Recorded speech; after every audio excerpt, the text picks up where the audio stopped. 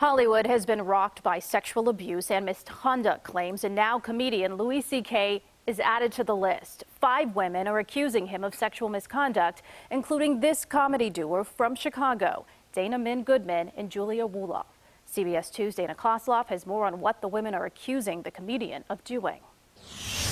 Nice to be here. How are you doing? Good. Good, good. Comedian Louis C.K. is known for his self deprecating and raw humor. But two female comedians, Dana Min Goodman and Julia Wolov, who started in Chicago, are among those now accusing C.K. of sexual misconduct. They tell the New York Times he suddenly began masturbating in front of them 15 years ago. I knew about that. Uh, lots of women knew about that. Lots of people in the community knew that he was like that. Many others echo what Chicago actress Rachel Coppell says, adding CK is not the only offender. You just kind of go through the community knowing that there are these stories behind these people and then hoping that you never have to witness them firsthand. Articulate for me why you think it might take some women um, years to come forward, if ever.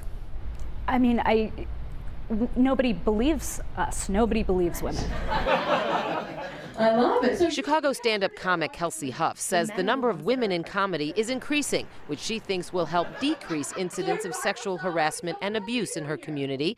Public outrage over CK's alleged behavior can also help. I think the conversation needs to happen. There does have to be repercussions for things like this. I also think tiny humiliations that happen all the time need to stop as well.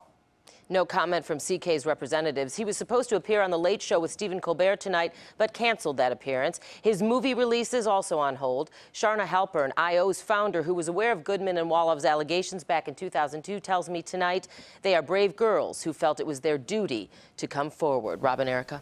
Okay, thank you, Dana.